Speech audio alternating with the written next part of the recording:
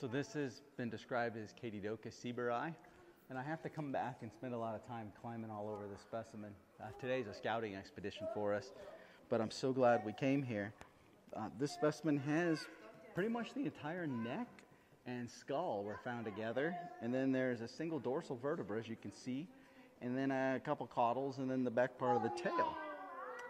And it's a neat, fun size sauropod. I don't think it was anywhere near adult max size.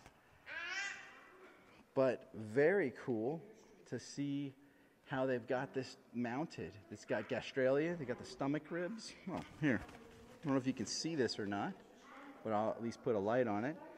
Um, you've got the sternals, you've got these stomach ribs that come up and touch the ribs. It helps tie it all together.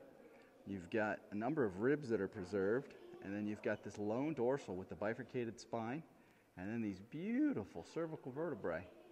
So these and the specimens of the American Museum, you can figure out what these animals look like. The biggest problem, though, is they're, they're probably juvenile, and ontogeny plus variation causes all kinds of mystery.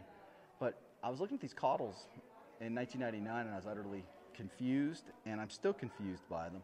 They just don't make any sense to me. So, more work to follow, but I do find this mount very cool and how they've taken just bits of bone that they found in articulation and made an absolutely spectacular display out of it. I two thumbs up this, so good job.